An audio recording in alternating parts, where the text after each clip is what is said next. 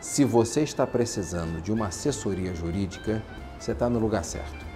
Um dos serviços que o Clube de Negócios LMA lhe oferece é assessoria jurídica e te indicar o melhor advogado de cada uma das áreas dentro daquilo que você precisa. Nós só fazemos isso para quem é associado do clube de negócio. Quem não é associado, está fora. Então a primeira coisa que você vai precisar fazer é se associar como pessoa jurídica, não atendemos pessoa física, somente a empresas. Então, primeira coisa é se associar, você ganha um ano de contabilidade grátis.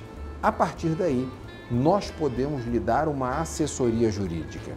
Existem dois valores distintos. O primeiro é a assessoria jurídica para sabermos o que você está precisando para poder lhe dar uma orientação.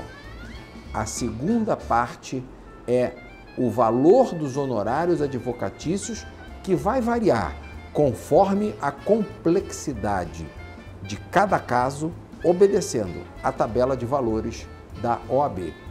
Então, se você tem interesse em receber uma assessoria jurídica para receber uma boa orientação, é, a primeira coisa que você vai precisar fazer é o pré-cadastro aqui no nosso site e efetuar o pagamento da assessoria.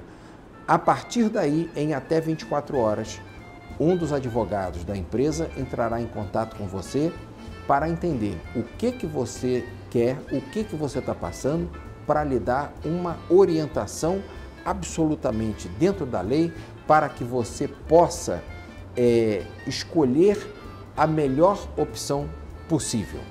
Então, depois que lhe é dado esta orientação, lhe é dado essa assessoria, é combinado com você os honorários conforme a complexidade do que você vai é, precisar nenhum dos advogados da empresa vai lhe prometer que você vai ganhar causa, nenhum dos advogados da empresa vai lhe prometer que você, em pagando honorário, você vai ganhar causa. O que nós fazemos é lhe defender. A decisão de que você vai ganhar ou que você vai perder é do juiz, não é de nenhum advogado.